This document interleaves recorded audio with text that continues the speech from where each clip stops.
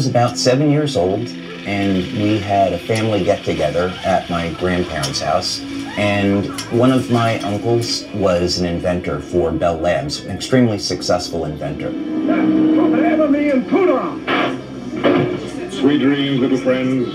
And now for the Mandarin. First, I better check my energy gauge. Oh.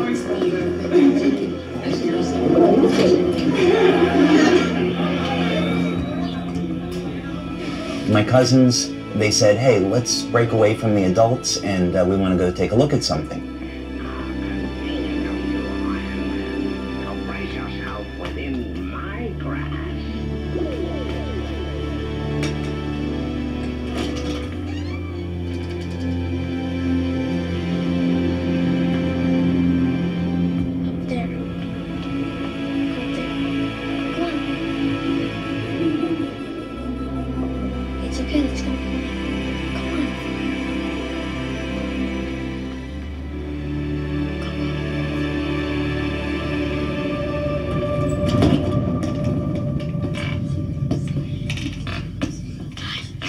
So we went up into the attic.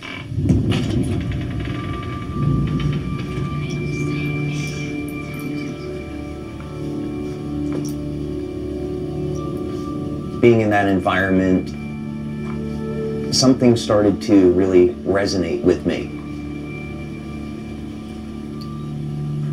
I just thought this was the coolest thing.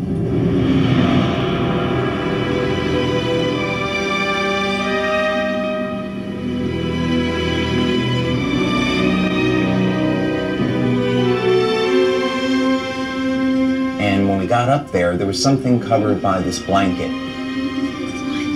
My cousins took the blanket off, and I saw this incredible machine. It had all of these tubes, electronic controls, dials, and I was immediately fascinated.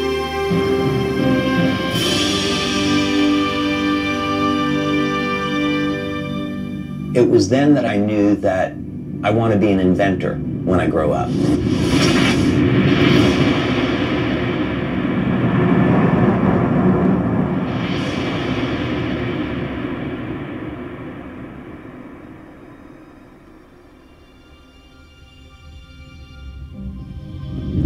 My name is David Schmidt.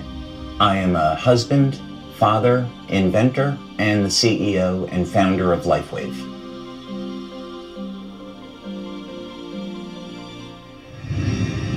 From when I was young, I always had an interest in exploring the world and learning about how things work.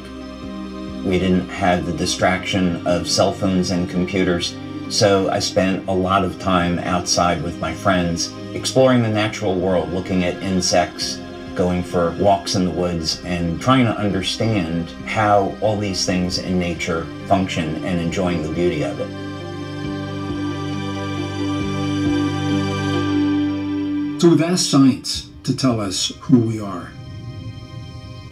We have an answer, and many scientists are not comfortable with where that answer is leading.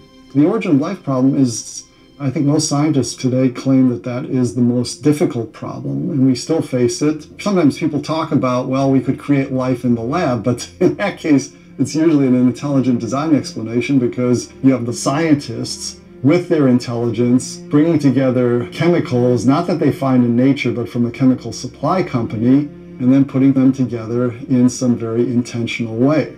Science is arriving at the place where our ancestors invited us to begin. And that is with the understanding that we are part of, rather than separate from, the world around us. Could it be that who or whatever is responsible for us left us a message? If this is true, where would we look for proof? God has left his fingerprint in nature and in natural design. And by studying nature with this perspective, we can unlock some secrets that have been hidden. The DNA is thought of as a reservoir or a repository of information, but actually it's much, much more than that.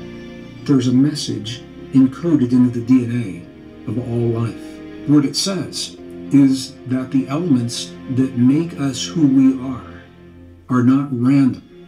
And as we begin to embrace what that means, that we're part of everything that we see happening in the world, it gives new meaning to what it means to be human. Not only are we more than the product of random processes, we are designed to interact with the world around us as well as the world within us.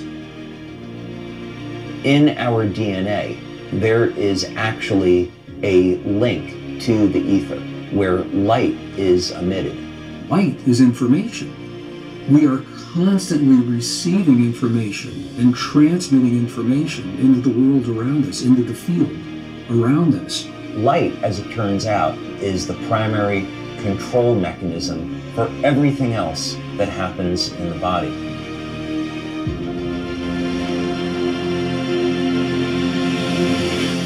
If we can understand the language of the DNA, the code by which this all works, that means we can use light in an entirely different way to improve our health, our quality of life, and even change the way we age. What if we could have an external electromagnetic field that would essentially reset the stem cells that are already in our bodies and get them to function like younger, healthier cells? What if we could embed wavelengths of light into water that would trigger the regenerative mechanisms and cause people to heal at a rate as when they were younger? What if we actually found out that in a book that was written thousands of years ago, that information already existed? The first sentence of the book of Genesis is about in the beginning how God created the heavens and the earth. So when God was creating the heavens and the earth, there was a mathematical blueprint, and that blueprint shows up in nature. And it happens to show up in organisms that don't age. The mathematical codes are identical. The implications to this are absolutely extraordinary. There's a new philosophy that is emerging in the scientific community. And the philosophy simply says that consciousness informs itself through its creations. And I think it's no accident that it's only now, at this time in history, only now, we find the message that reveals the deep truth of our existence. The question is, what is our potential? What are the limits of a human body?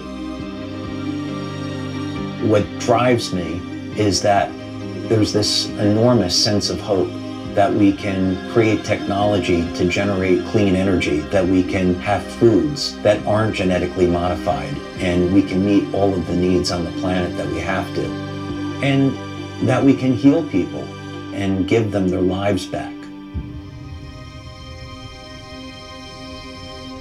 In the beginning, God created the heavens and the earth. There is more information there than most people would ever realize.